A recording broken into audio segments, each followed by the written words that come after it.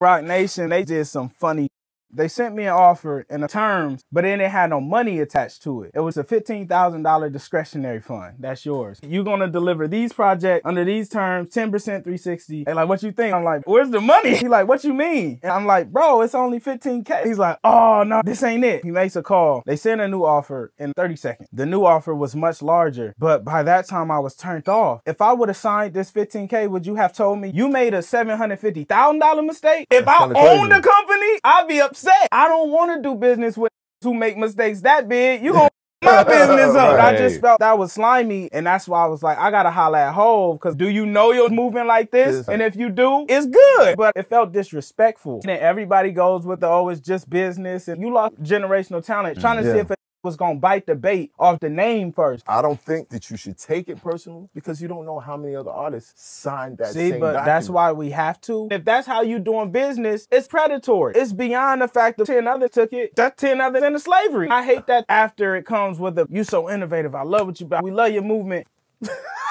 That's one of them contracts you wouldn't tell that deal in words. In person, you only slide it yeah, across the, the table. table. We gotta stop doing yeah. business like that and just writing it off.